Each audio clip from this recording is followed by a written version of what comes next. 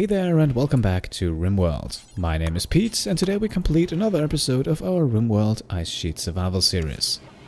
In the last episode we started our research on mortars, Cambiar also got sick with the flu, and most importantly we also got attacked by a group of centipedes. With careful tactics though Cambiar survived, and so today we pick things back up right where we left off last time. And with Cambiar asleep, the troubles out on the ice sheet don't stop. We now have another sickness to add to his already existing one, as Cambiar catches some fibrous mechanites.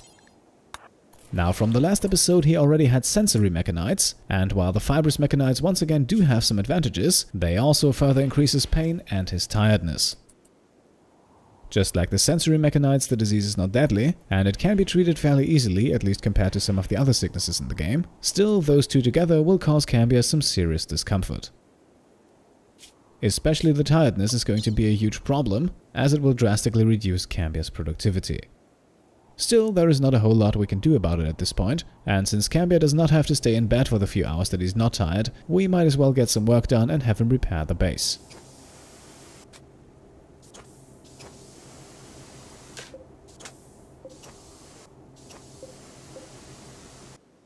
Afterwards, we can then continue researching. The mortar project is already more than halfway done, and as I said in the last episode, I would like to complete that before we jump onto hydroponics. Apart from researching and resting, not much else happens for the rest of the day, until just a few moments after midnight, Cambiar gets inspired. For the next 24 hours, Cambiar will now walk faster, which is actually kind of useful because the fibrous mechanites increases walking speed as well. And as you can see here in Cambiar's stats overview, they also increase quite a few other skills.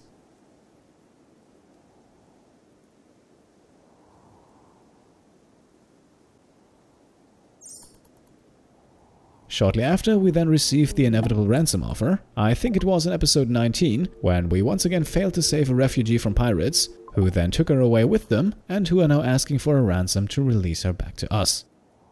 And as usual, we are going to reject the offer. I don't really want her back anyway, and we also don't have the money. The next 24 hours then remain fairly uneventful. Cambiar loses his walking inspiration without getting much use out of it, and with a quick look at the Huskies, we can also see last episode's food problems are back. So we once again have to give the Huskies access to the human meat storage, even though the reserves in there are not spectacular either. Luckily though, our food problems could solve themselves just a few seconds later. We get another call for help by a refugee who's being chased, and since the chasers are tribalists and not pirates, I think we are going to help out. A tribal raid should be something we can deal with even if it's pretty large, and we always have the backup option of letting the tribalists get away with the person they want. That person in this case would be Artyom, not the most interesting colonist, both incapable of violence and research, and also once again running around the ice sheet with nothing more than a pair of pants. So it remains to be seen whether or not he actually makes it back to the base. At this point, however, we are interrupted by Ruby, who has given birth to two husky puppies. So we now have five huskies out on the ice sheet and we're probably not going to keep all of them. And we're also going with a slightly different naming process this time, but we will discuss that in a moment. For now, we have a raid to focus on. Artyom Turner here, by the way, also a luciferium addict, so that might just allow him to reach our base before collapsing due to hypothermia. If he does not make it though, chances are not looking too bright for him, because this right here is the group that's on his heels. I am not quite sure, I count about 19 attackers here. Yes, quite a lot of them only have melee weapons, but we probably don't want to leave the entire thing up to our defenses. So with Cambiar we now keep the assault rifle equipped and we'll have him walk over to the switches to turn on the turrets. I was briefly thinking about using one of the Centipede's miniguns for this, but those have a very slow recharge speed and they're also pretty inaccurate, so they are not necessarily ideal for the whole hit and run tactic. So Cambiar moves out and Artyom moves in, however only up until the end of our trapped corridor. Surprise, surprise, I once again don't really plan on keeping him, and the end of the corridor there, that is in my opinion the best point to leave him. The attackers will still have to fight through a large part of our defenses to get to him, some of them will very likely trickle down into our base, and when they then eventually decide to capture him again, all of that happens right in the middle of our defenses, and I think it will be a lovely chaotic scene. With Cambiar, meanwhile, we take our chances. We have decent cover here and can take a few shots at the attackers. However, we also don't want to stay in their firing range for long. They do have bows and most of those outrange the assault rifle, so we just want to land a few hits and then move Cambiar back.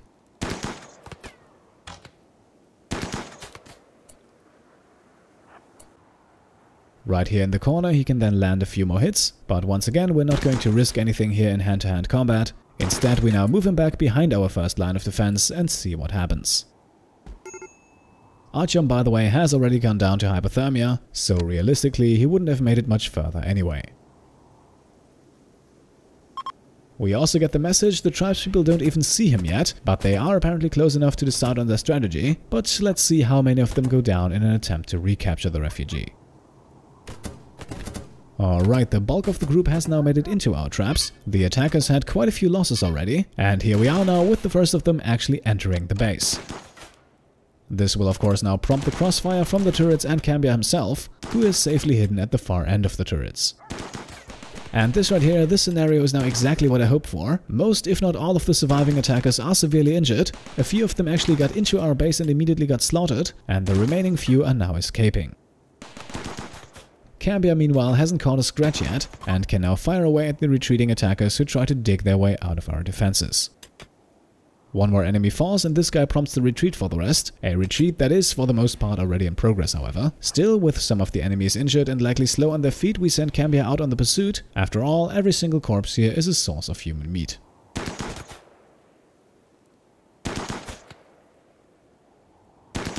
And look here, Cambiar actually manages to quickly shoot down another attacker. And let's have him go for one more. Maybe we get lucky and can down the enemy before he reaches the end of the map. Alright, it was a close call, but eventually Barracuda here got away. Still, I'm more than happy with how the whole affair turned out. We can quickly kill the enemy next to Cambiar here, and then looking at the carnage in our base, we should have about 10 more enemies down or dead here. So Cambiar returns to the base with the first bit of loot, and before he heads off to bed we want to take care of at least the supplies that are unroofed at the moment. Their selling prices will drop if they deteriorate too much, and that would be a shame. Speaking of trade, at night then, while Cambiar is asleep, we have a trade ship passing by. And even though most of the valuables from the raid are not in our storage room yet, let's have a quick look at what's for sale. Alright, there's really not a whole lot that interests me here. We do have the Scyther Blade, however, that we can sell for a decent amount of money, but that is also the only transaction we make. On the next morning then, Cambiar begins the repairs. Our attackers left quite a mess here. Our defenses have been breached at several points, the walls have taken quite a bit of damage, and we should of course get all of that repaired quickly. Another priority are no doubt the corpses. We currently do not have a single unit of meat left in storage. The Huskies have actually started eating some corpses, which is of course less than ideal and wastes precious resources.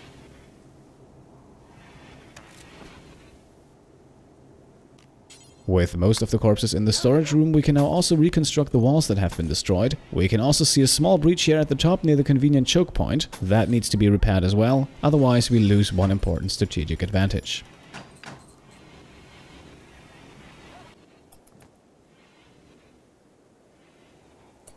On the next day then, the final day of winter by the way, it is butchering time. Our colony has zero food reserves at the moment. Like I said, the Huskies have already partially consumed one of the corpses, so Cambiar needs to start chopping, at least until we have enough meat to serve us for a few days.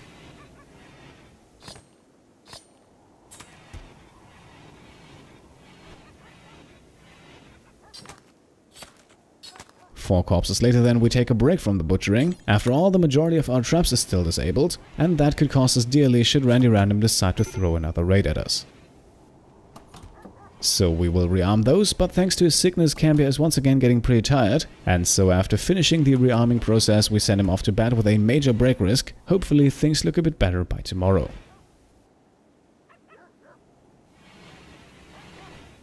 Cambiar's well-earned sleep, however, is once again interrupted by a trade ship, so let's have a quick look at what they have to offer before they leave again. Alright, starting us off here, we're going to sell a few leathers that we don't really need, mostly because we only have low quantities of them, but in the case of the human leather also because we have just way too much. We also stay consistent with our no drug policy, and that means we can sell both the smoke leaf joints and the luciferium. As usual, we will then also sell off the dead man's clothing, but once again, that doesn't make us a whole lot of money. We do make enough in this trade though to buy something, and the choice was very easy here. Food is of course our number one concern at the moment, and so we spend a bit of cash here and buy 600 units of elk meat.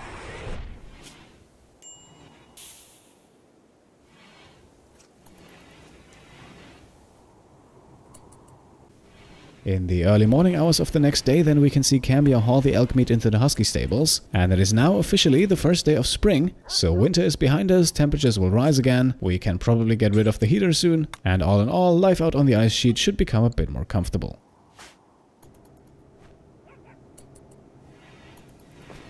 After a quick rest around noon, Cambiar then continues butchering. After all, if the Huskies now have plenty of meat, Cambiar shouldn't lag behind. That pretty much also wraps up the day for Cambiar. In the evening then his tiredness once again gets the better of him, but thankfully, at least for the moment, our food problems are solved. Now at this point, as promised, I also want to quickly discuss the naming process for the two new Huskies. Since we have two, we can mix things up a bit, so one of them will get a name that is randomly selected from my list of patrons. I think that is a fair privilege for those of you who chose to pledge. The other name, however, will be selected in the already familiar process. Simply leave a comment with your idea for a name down below, and I will randomly select from all submissions.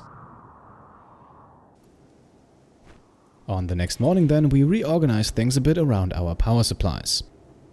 Right now, pathfinding is a bit of an issue, because Cambiar always has to walk over the solar panels and around the wind turbine in order to reach the switches for the battery and the turrets. For that reason, we are now going to deconstruct that wind turbine, and we are rebuilding it in a slightly more convenient location. Now it will no longer be in the way, allowing Cambiar easier access to the switches, which of course also increases our reaction speed in combat. Now, however, we have to put down a few conduits to connect everything, but it's not an overly long connection, so security-wise it doesn't pose too much of a risk.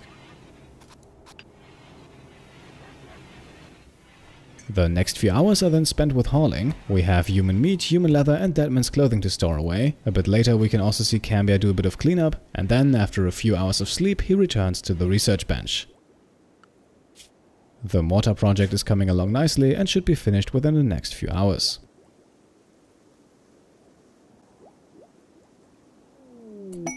First of all though, we have a small gift from Randy Random. A snow hare has self-tamed, and well, it is the ice sheet, we don't have much food, so we are going to slaughter it immediately. And yes, I realized it would have been more efficient to just wait for the snow hare to enter the base. Instead, Cambiar now makes his way out on the ice sheet and takes care of business out in the open. With the Snowhare corpse in the storage room, we continue with research. Cambiar, however, once again has to take a rest because of his sickness, and so it becomes late evening out on the ice sheet when Cambiar finally finishes the mortar research. As expected, this now allows us to build a mortar gun, and after Cambiar has gotten a few more hours of sleep, that is exactly what we'll do. Now, just like the gun turrets, the mortar can be built from various materials, and also just like with the turrets, I have chosen plasteel. A plasteel mortar has almost three times the amount of hit points compared to the normal steel version, and since mortars have the rather annoying habit of exploding when they're too damaged, a good amount of hit points is always a good decision, especially considering how much plasteel we still have in storage. To the left of the mortar you can also see Cambiar has constructed a sandstone shelf, and that will now be used to store the mortar's ammunition.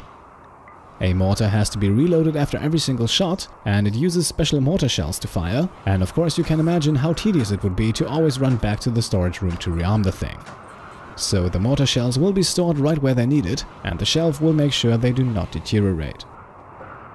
Now we are also further securing the mortar with a stone wall, that way it cannot be hit by enemy fire coming from the entrance of the base, while the mortar itself can lob its shells over the wall without any problems.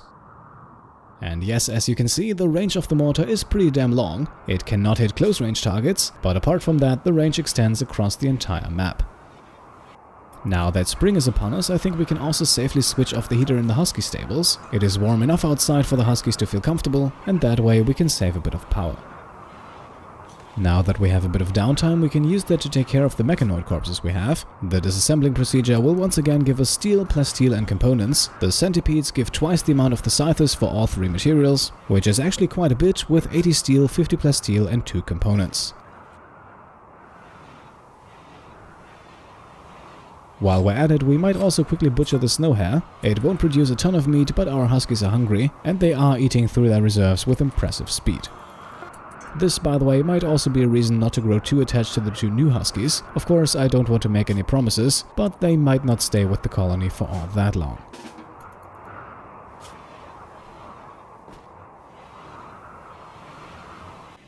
On the next morning then, after a bit of cleanup, it is time for more research. And yes, we have now finally reached the point that I think many of you have been waiting for, as we start researching hydroponics.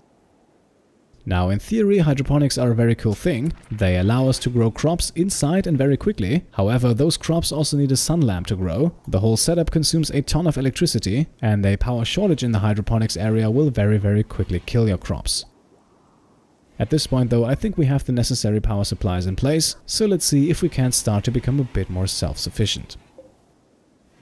By the way, I have also ordered Cambiar to start trading the third husky. Biscuit here will now also learn how to haul, but just like with his parents, that will probably be a rather lengthy process. That phrase pretty much also describes the next two days. Apart from researching, resting and occasionally training the husky, not much is going on, and so we are slowly but steadily reaching the end of the episode. However, before we wrap things up, I think it's time for your Patreon shoutouts. The early support on Patreon has been amazing, and like I said, I will name a Husky after one of the 28 patrons we have so far, but I also want to say thank you to every single one of you. So let's get started with Wade B. Crane, Gero Knob, Autumn Mamrak, Frederick Ellich, Julian Link, Eric Steele, Michael Helquist, Shane Thacker, Brian Miles, Jinate Marie Alice, Anth Hopper, Alistair Marner, Kim Lupai, Jimmy Rustler, Roddick New, Brian Goodman, Gurno, Michael Talpus, James Mack, Jesse Austin, Marine Morell, Joshua deGrasse Bauman, Tara Cimino, Samuel Wensor, Oscar Kjellberg, Liam Nordell, Trent Doyle, and last but not least Nathan Moore. A big big thank you to all of you who support my work. And at this point we also make the cut in today's episode. Next time we will then likely start with the hydroponics. Until then, as always, leave a thumbs up if you liked the episode. And if you want to support the channel, then you can either subscribe if you haven't already, or you can support the Pete Complete Patreon. Thank you all for watching, and I'll see you next time. Cheers.